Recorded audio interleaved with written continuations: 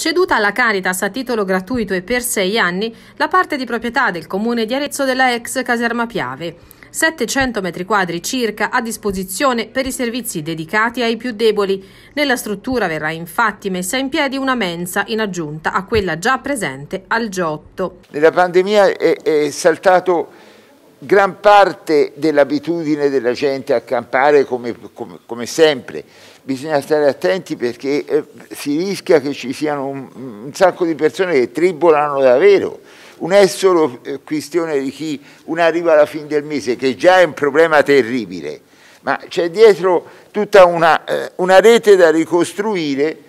Io credo che eh, chiunque governi la città ha diritto a poter avere una cultura intorno che sostiene la città e, e, e, riafferma i valori che ci stanno a cuore a tutti, perché è più quello che ci unisce che quello che può dividere qualcuno. Il progetto più ambizioso poi è quello di poter realizzare in futuro una vera e propria cittadella della solidarietà. Sì, diciamo che questo è il progetto di lungo periodo e di, di grande ambizione che riguarda l'intera caserma Piave con una superficie di più di 5.000 metri quadrati.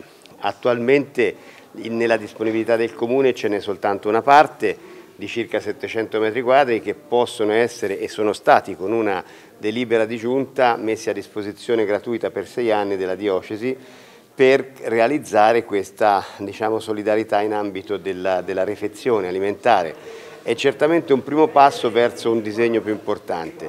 Quello che è importante è che fare solidarietà usando un mezzo eh, un, un, un, edificio, una parte di un edificio che comunque non avrebbe destinazione perché, perché ormai sono troppi anni che non è utilizzato e sarebbe impensabile farci qualcosa di diverso, ci dà la soddisfazione di averlo messo a disposizione per una finalità assolutamente positiva.